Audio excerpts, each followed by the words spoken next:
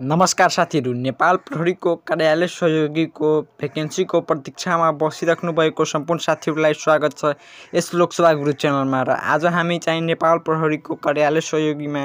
चाहिँ एप्लाई गर्नको लागि आवश्यक पर्ने न्यूनतम योग्यताहरूको बारेमा चाहिँ हामी कुराकानी गर्नेछौँ। र त्यसको लागि चाहिँ तपाईँहरूलाई यो भिडियोलाई लास्टसम्म हेर्नुपर्ने हुन्छ र सो हामी ढिला नगरिकन हामी भिडियोलाई सुरु गर्छौँ। र नेपाल प्रहरीको कार्यालय सहयोगीमा चाहिँ भेकेन्सी अब यहीँ असोज कार्तिकमा चाहिँ खोल्दैछ यसको भेकेन्सी र यो चाहिँ श्रेणीविहीन पद हो नेपाल प्रहरीको र हामी यसको न्यूनतम योग्यताहरूको बारेमा चाहिँ कुराकानी गर्नेछौँ। यसको लागि चाहिँ तपाईँहरूलाई यसमा एप्लाई गर्नको लागि साधारण लेखपढ गरे भए पुग्छ। यहाँ लेखिएको छ शैक्षिक योग्यतामा साधारण लेखपढ गर्न जान्ने।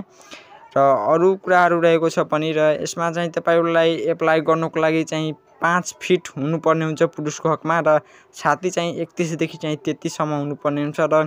तौल भनेको पचास केजी हुनुपर्छ र महिलाको हकमा चाहिँ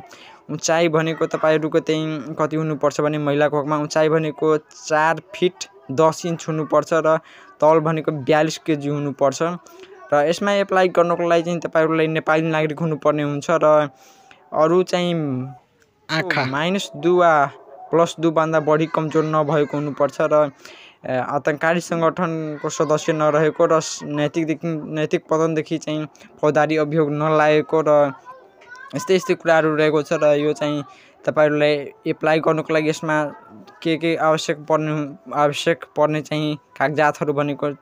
त्यहीँ चाहिँ तपाईँहरूलाई नेपाली नागरिकता हुनुपर्ने हुन्छ र आफूले हासिल गरेको शैक्षिक योग्यताको प्रमाणपत्र चाहिँ तपाईँहरूलाई पेस गर्दा पनि हुन्छ र यसमा चाहिँ नपेस गर्दा पनि हुन्छ र यहाँ सामान्य लेखपढ गर्न जान्ने भन्ने भनिएको छ र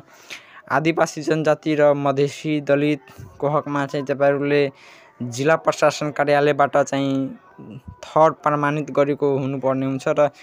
तपाईँहरूले पेस गर्दाखेरि चाहिँ एउटा कोटा हुन्छ। यदि नपेस गर्दा पनि चाहिँ तपाईँहरूको यहीँ फरक पर्दैन तर चाहिँ तपाईँहरू पेस गर्नु होला यदि चाहिँ यो आदिवासी जनजाति मधेसी र बिछोडिएको क्षेत्रहरूमा चाहिँ तपाईँहरू पढ्नु पढ्नुहुन्छ भने तपाईँहरू आफ्नो जिल्ला प्रशासन कार्यालयबाट चाहिँ प्रमाणित गरी चाहिँ पेस गर्नुहोला र यसको चाहिँ पाठ्यक्रम पनि हुने गरिन्छ। यो चाहिँ कार्यालय सहयोगको नेपाल प्रहरीको र हामी नेक्स्ट भिडियोमा चाहिँ यसको पाठ्यक्रमको बारेमा चाहिँ हामी भिडियो लिएर आउनेछु।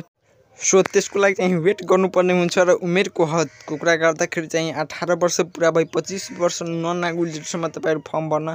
पाउनुहुन्छ र हामी अर्को भिडियोमा चाहिँ यसको चाहिँ पाठ्यक्रमको बारेमा हामी चर्चा गर्नेछौँ र त्यति दिनसम्मको लागि मैले बिदा दिनु होला। हस् नमस्ते।